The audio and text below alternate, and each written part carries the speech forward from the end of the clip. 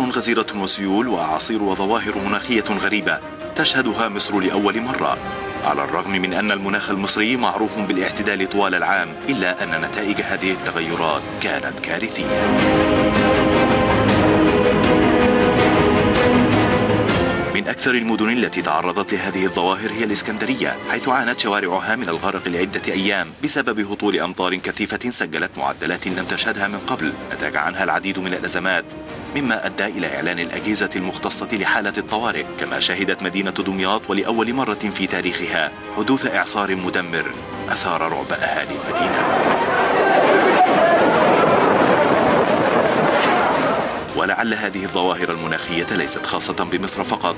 ولكن العديد من الدول العربية بل والعالمية شهدت تغيرات مناخية شديدة نتج عنها أمطار غزيرة وسيول أدت إلى نتائج كارثية متشابهة.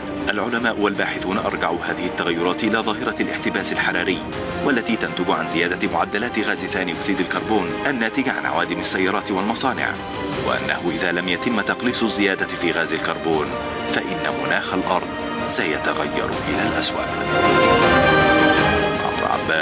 مفتاح الحياة.